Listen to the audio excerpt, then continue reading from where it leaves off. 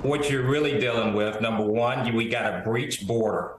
And the longer that that border stay breached, more terrorists can infiltrate out into the South and do what they're doing now in these cities and hamlets uh, and either pulling uh, um, hostages out or causing havoc in the city. So we must, Israel must get the border sealed. And as we sit here right now, I do not believe that border is sealed. Number two, have to destroy the terrorist groups that are inside these these cities pretty quickly because the way of life of the Israelis are being destroyed right now, and so they have to get a handle on that. Number three, they have to watch the West Bank. We do know that uh, there are Palestinian terrorist groups that could perhaps come out of the West Bank to join this fight. Don't think they will, but still, it is a possibility. Number four, they have to watch Hezbollah up north.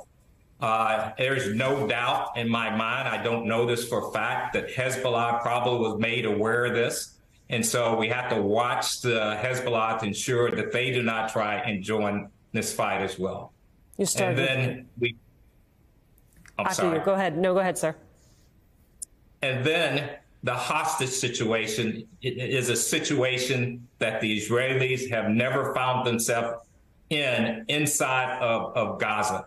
They're going to have to figure out, number one, how to get the human and intelligence going to where they can find these hostages, get special operation forces in there, and perhaps uh, get a ground force movement in there. But I think they got to get their intelligence to be able to find the location of these hostages because Hamas will probably decentralize these hostages. They'll probably constantly move them uh, to throw the Israelis off. So it's critical that they get their intelligence going to be able to find these hostages pretty quickly. Clint, I want to pick up on two things that General Twitty has said. The first being that Hamas did not wake up today and decide to execute this attack. This was well planned. It was well orchestrated. That then means that there was an intelligence failure, right? There was an intelligence failure on the part of Israeli intelligence that did not pick up on the planning that was going on for however long it was. And then I also want to pick up on this piece about the fact that we now have an active hostage situation. There is movement among those hostages. The role that intelligence can play at this point? Yeah, Alicia, just uh, from the failure point, I mean, it's 50 years from the uh, 1973 war. It, it is really not a surprise in terms of the date that they might pick.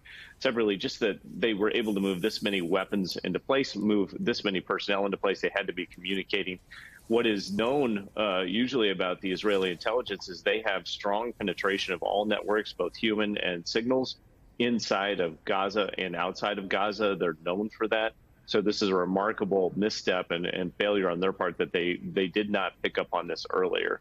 I think the second point is though moving forward, you will see several different things happen. First, they're going to be employing all of their technical and uh, human intelligence and surveillance capabilities, which are vast, by the way, on the Gaza Strip. Uh, the next thing is they've got to secure those areas uh, that General Twitty was talking about, which are still unsecured areas, uh, towns where there may be Hamas infiltrators in, and closing up the borders to some degree, or otherwise they're just not in a strong position to really isolate the problem and try and work on the hostage situation.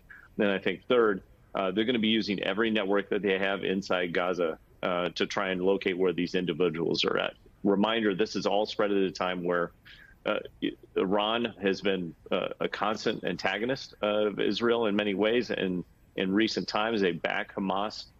Look at the bigger uh, scheme here in the Middle East right now. You had normalization of relations uh, between Israel and UAE. There was lots of work towards uh, normalizations between Israel and Saudi Arabia.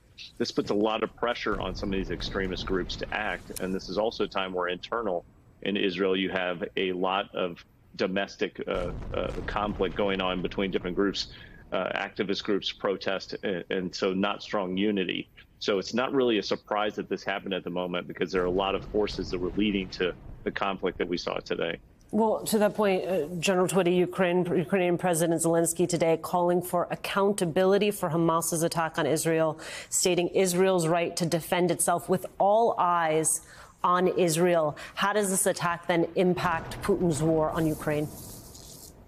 Yeah, I, I would say that uh, perhaps uh, as your previous uh, um, um, visitor talked about. I think it was uh, Alex Vindman that was up. Uh, I don't share his pessimistic pessimistic view about things raveling. Uh, Russia could have uh, known about this particular attack. I don't know whether the Iranians uh, informed them of, that. But I see the uh, what's going on in Ukraine at this point in time.